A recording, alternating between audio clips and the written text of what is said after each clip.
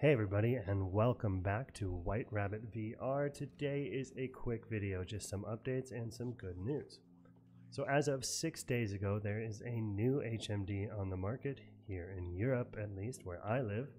Uh, and that is what I purchased today. It's the Pico Neo 3 Link. So that should be coming in the mail soon. Uh, so let's talk about the Pico Neo 3. Uh, and if you're not aware, it's essentially the, the contender for the Meta Quest 2. So this is also a standalone headset with PC VR capabilities with uh, some sort of tether. However, this headset is obviously not owned by Meta and does not require a Facebook account. I mean, I, I honestly don't care too much about this fact, but I know that there's a lot of people out there that do, and likely for good reason. So, yes, you now have access to a tetherless, if you so choose, HMD, free from the shackles of Sugar Mountain. That's what Zuckerberg's name means, if you didn't know. I, I, I live here in Germany. The literal like translation of his name is Sugar Mountain. So, yeah, let that sink in. Anyways, as I eagerly await my Pico Neo 3, let's discuss its specs versus its competitor and see how, at least on paper, Asia's leading VR HMD stacks up against the Quest 2. Well, the operating systems are, are both Android. I, I, believe the Neo is uh, 8.1 and the Quest 2 is based off of uh, Android 10, but you know, some minor differences um, in regards to that operating system, but uh, let's just say, for all intents and purposes, those companies are going to do whatever they want with that Android version. So both are running Snapdragon XR2 chipsets on the Kryo 585 CPU and Adreno 650 GPU. Both of them are 6 gigs of memory and for storage the Neo is coming in only on a, a 256 gig whereas the Quest has 256 uh, and also offering the 128 variation. Uh, at one point, they had the 64 gig, but that has been discontinued since uh, mid 2021. Battery life is apparently three hours on both units. However, there is about an 1800 milliamp difference between the two, with Neo having the larger 5300. The only main battery difference is the controllers on the Neo, uh, requiring two AA batteries, but they are boasting an 80 hour lifespan uh, compared to the Oculus's 30. Uh, I find this interesting. We'll see, um, you know, when we get it. I honestly, like, the Oculus Quest 2 controllers lasted forever. Like, I was really surprised how long those controllers lasted with just one AA battery each. Um, so that's pretty good. 30 hours, I guess that sounds about right. Um, I will be really surprised if the Neo is uh, is 80 hours, but hey, let's see. You know, don't know until we uh, we actually get our hands on it. Okay, so let's talk optics. Although there are some slight differences between Pico's website and some other comparison websites, for now let's just look what it actually boils down to um, as far as on paper. Uh, so both have a 5.5 inch LCD screen. Pico is doing the typical 4K resolution gimmick, which technically isn't wrong, but also just not really cool. I think it's kind of um, deceptive. I think enough of us know to look out for this BS, you know, these days, anyways. But yes, uh, don't be fooled. If you see that the quests 2 has uh, 1832 by 1920 and that the Pico has a 3664 by 1920. They're just measuring the pixels across both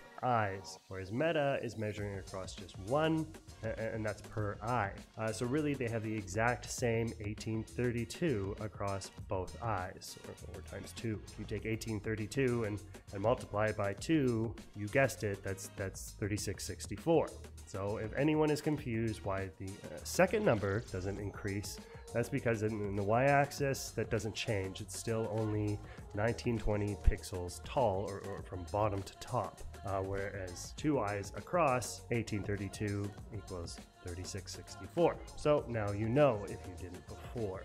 Watch out for this if you want to stay informed when purchasing a new HMD because some companies will post their resolution across both eyes uh, when really that is uh, kind of split in half on the uh, the left side which is the width Okay, so here's another discrepancy. So MetaQuest 2 is capable of running at 120 Hz with experimental mode enabled, or, or maybe by the time you're watching this, just in general. Uh, whereas the Neo 3 Link is only capable of running at 90 Hz according to some websites like uh, vrcompare.com. However, on Pico's website, they claim that they can run from 72 up to 120 Hz. However, there's no uh, identification or there's no explanation as to if this is standalone or linked or what. So this is uh, somewhat to be seen, I guess. Uh, unless anyone else has some more information, then that would be awesome. And please let me know in the comments. I, I have no way of knowing. It's just what they say on their website. You know, that's it's like the 4K resolution thing. They could be taking something that it's capable of completely out of context.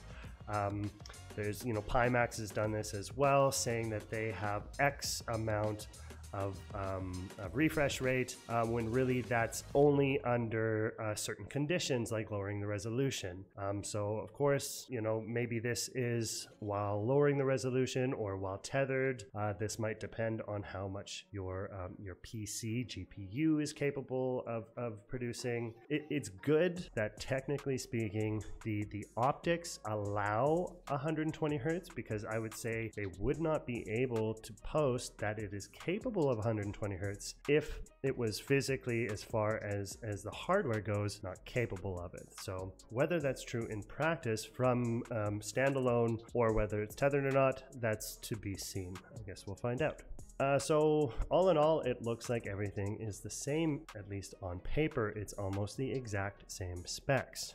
So then what's the difference and which one should you buy? Well, until I get the Neo in hand and test it out, I, I can't really say for sure, but maybe we can speculate a bit based on the price and what you get. Okay, so prices might differ where you are, and I'm not even sure when it's available in the States or what the pricing is gonna look like.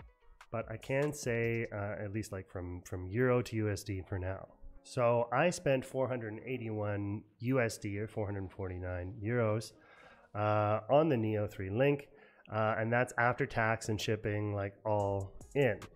Uh, this comes with everything I need, including the Link cables. For me to get the Quest 2 right now in 256 off Amazon, it'll cost me about $562 or 524 euros. And then I have to purchase the link cable to match what I got in the box with Neo.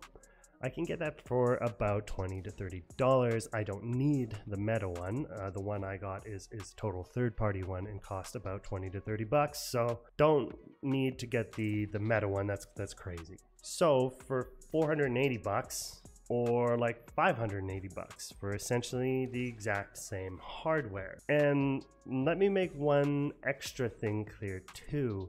Technically, the Neo 3 kind of includes the Elite strap with it.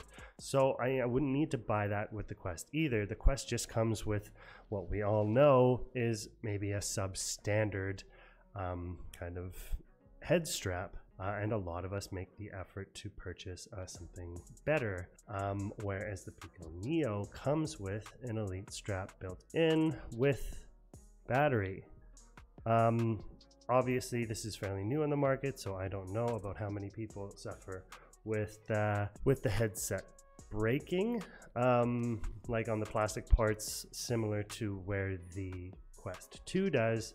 Uh, this is obviously to be seen, but it's nice to uh, have that come in the box with it.